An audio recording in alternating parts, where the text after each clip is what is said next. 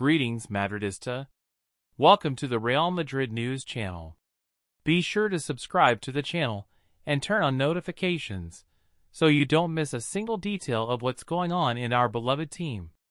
And now, without further ado, let's get to the latest news from Real Madrid. The president of Paris Saint-Germain was born to whom Lafay is determined to get a Spanish team for a paltry amount. Yes, you heard correctly. This football tycoon does not want to miss out on the opportunity to acquire a third club for his portfolio and would be willing to pay an insignificant figure. Therefore, the president of Paris Saint-Germain will not be the one who is in talks to acquire a team from Malaga. Spanish football that is currently in the relegation places of the second division. The Alki company Qatar Sports Investments would be interested in buying 51% of the club's shares an operation that is estimated at around 9 million euros if the deal is completed.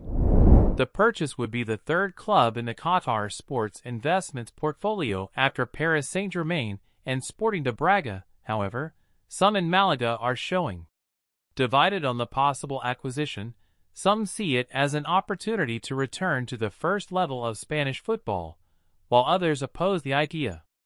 The company from Alquila has shown interest in acquiring the Spanish club for an amount that is presumed will not be very high. That Malaga has generated could become the first low-key Spanish club in the Qatari state. Stay up to date with all the news from Real Madrid. Subscribe to our channel, like, and comment on how you think this news will impact the team this season. And please tell us from which country you are watching us.